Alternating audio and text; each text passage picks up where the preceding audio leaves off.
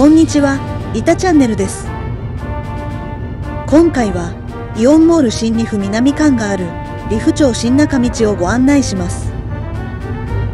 新中道は、仙台市の東部に接する、利府町の西寄りにあります。仙台駅までは、約 12km あり、車で通常は約26分、渋滞すると1時間ほどかかります。今回のルートは、宮城県道8号線利府街道からイオンモール新利府南館に行き、新幹線総合車両センター、利府市街、イオンモール新利府北館などを巡ります。このチャンネルでは、仙台を中心に地域の街並みをご紹介し、これからの街づくりを考えていきます。新中道は、利府町新中道と地区画整理事業により造成されたニュータウンです。利府町は、仙台駅から JR 利府線で20分足らずであり、仙台都市圏の拡大に伴って、レッドタウン化が進みました。白樫台団地が1979年に開発が始まり、1984年から分譲が開始されました。これを皮切りに、CI タウン利府青山、青葉台、花園、菅谷台、皆の丘などのニュータウンが造成されています。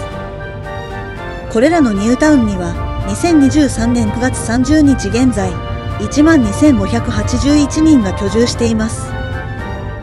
当初、白樫台にミニスーパーがありましたが、後に閉店し、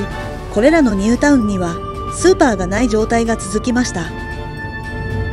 このこともあり、2000年4月に、これらのニュータウンの入り口にあたる利府街道に、ジャスコ利府店を各店舗とする、イオン利府ショッピングセンターが開業しました。なお、2011年には、ジャスコリフ店がイオンリフ店、イオンリフショッピングセンターがイオンモールリフに改称されました。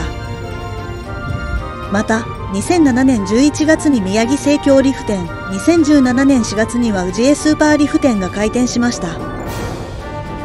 そして、イオンモールリフと新幹線総合車両センターとの間の、加瀬座新南浦、リフアザ中道、リフアザ新夕橋などの新中道地区の造成が始まりました。それでは、新中道に入ります。右側は、イオンモール新利府南館です。2018年に、新中道地区にイオンモール新棟が建築されることが発表され、2019年6月に建設が開始しました。2021年3月5日に、イオンモール新利府南館として開業しました。イオンモール新利府南館は、敷地面積約14万8000平方メートル、延べ床面積約10万1000平方メートル、商業施設面積約6万9000平方メートルです。屋上駐車場を含め、約3800台分の駐車場があります。南館は、都会的な感度のあふれる新しい体験や、文化の情報発信拠点となるエンターテインメントモールとして、広域証券をカバーする方針です。各店舗はイオンスタイル新リフです。南館北側の1階から3階にあり、1階は食料品、2階はファッション、3階は子供用品などの売り場になっています。専門店街には約180店舗があります。1階はユニクロ、GU、グリーンハウスドルフィンなどのファッション店、産直市場アグリエの森などの食料品店などがあります。また、フードバズールを含めたレストラン街、ダイニングテラスがあります。その他、イベント会場になるライブスクエアなどもあります。専門店街2階には、H&M、スポーツオーソリティなどのファッション、スポーツ用品店などがあります。また、北館にもある未来屋書店があります。3階には、イオンシネマ、VS パーク、ナムコなどのアミューズメント施設があります。アニメイト、森や文化堂商店、ガチャガチャの森などのホビーショップもあります。また、テキサスキングステーキなどのフードコート、フードフォレストがあります。イオンモール新利府南館の向こう側には、JR 東日本の車両基地、新幹線総合車両センターがあります。新幹線総合車両センターの南端には、JR リフ線新リフ駅があります。新リフ駅は新幹線総合車両センターに併設されています。東北新幹線の開業に伴い、新幹線総合車両センター勤務者の面を考慮して、1982年4月に設置された駅です。単式ホーム1面1線を有する地上駅で、駅員はいません。駅の出入り口のうち、北側は関係者専用で、南側は一般でも出入りできます。新利府駅からは新幹線総合車両センターに入線する新幹線を見ることができます。新幹線総合車両センターは1982年の東北新幹線開業と同時に開設された車両基地です。主に東北新幹線で運用される608両の車両が所属しています。日常的な整備から全般検査、改造に至るまで JR 東日本が保有する新幹線車両に関する総合的な業務が行われています。全長 3.7km、幅 260m、敷地面積約48万平方メートルの広大な施設です。仙台レールセンター、仙台新幹線保線技術センター、総合訓練センターなどを併設しています。イオンモール新利府南館と総合車両センターの間を抜けると、新中道1丁目、2丁目の住宅街に入ります。新中道1号公園と2号公園があります。かつて、新中道地区は水田の広がる田園地帯でした。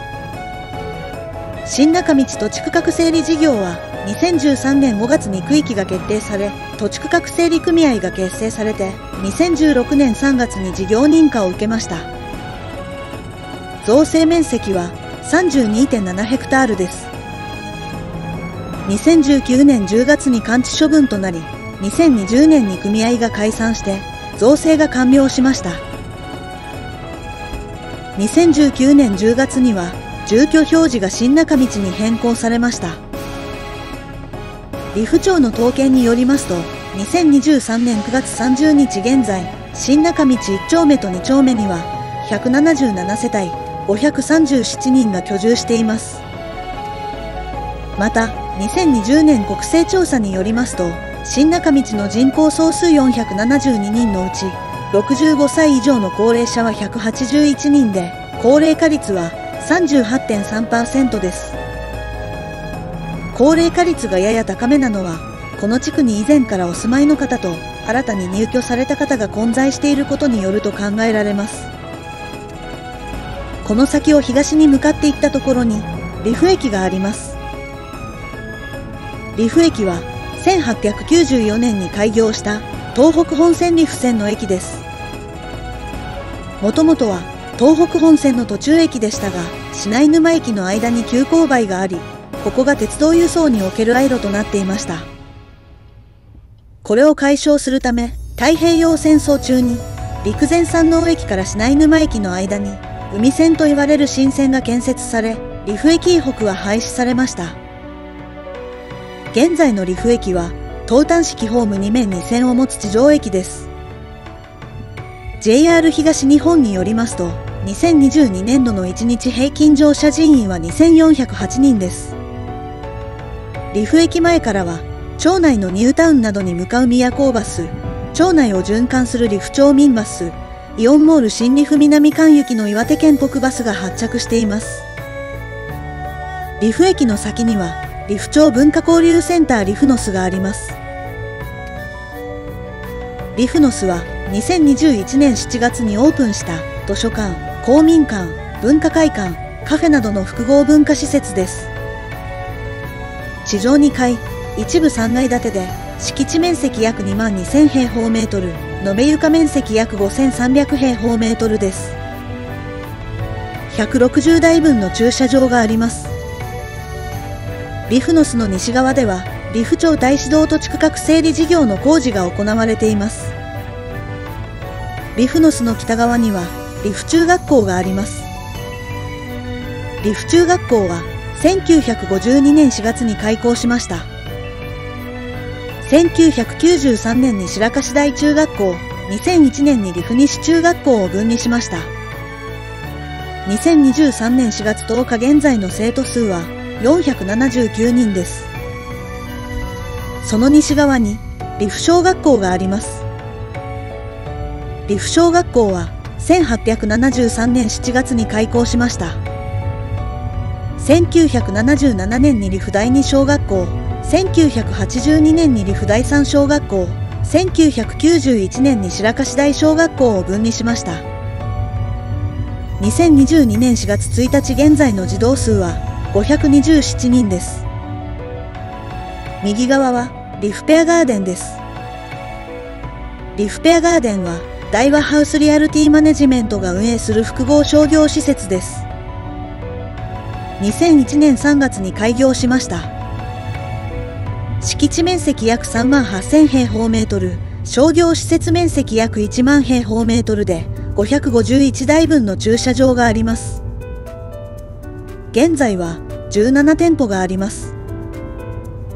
なお、ペアというのは利府町の特産物の梨のことです。当初はシネマコンプレックスムービックスリフがありましたが、2020年10月をもって閉館しました。ムービックスリフの跡地には、2022年3月に、ケーズ電気リフ店、ドン・キホーテリフ店が開店しています。今度は、イオンモール新リフ北館を回ります。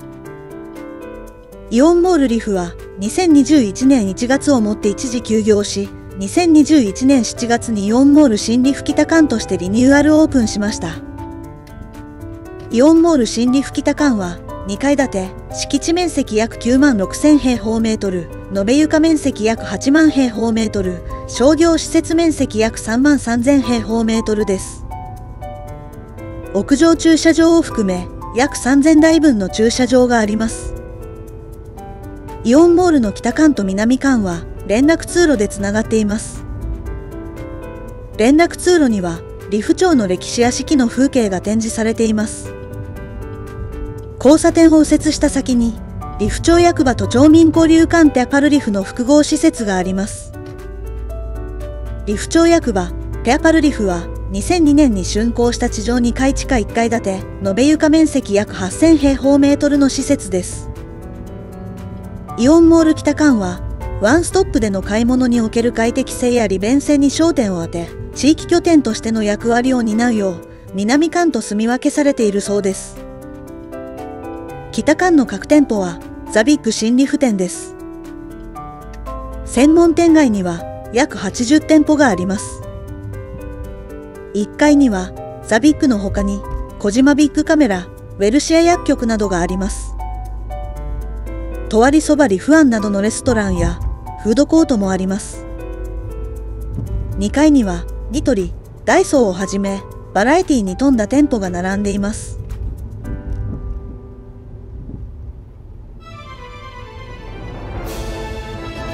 今回は新中道を見てきました。新中道はイオンモールリフト新幹線総合車両センターの間の水田地帯でした。土地区画整理事業により造成がなされ、2021年3月5日にイオンモール新リフ南館が開業しました。イオンモール新リフの南館と北館を合わせると、全国のイオンモールで3番目、全国のショッピングセンターで7番目の広さになります。イオンモールの周囲にも大型商業施設が集積し、各店舗は大きな建物とともに広大な駐車場を持っています。いわばこれらの大型商業施設は車で来店することを前提に作られたものです。しかし、この周辺のニュータウンにはスーパーがほとんどありません。2019年にニュータウンの南端にザ・ビッグリフアオ山店が開店しましたが、ここも車での来店がほとんどのようです。このように車に頼った買い物は車を利用できないお年寄りや学生たちにとっては不便なものです。今はニュータウンができて間もなく、高齢者が少ない状態ですが、今後、高齢化に向かうのは間違いないと考えられます。大型商業施設だけではなく、歩いて行けるようなお店ができる方策を考えることも必要ではないでしょうか。それでは、新中道のご案内を終わります。ご視聴ありがとうございました。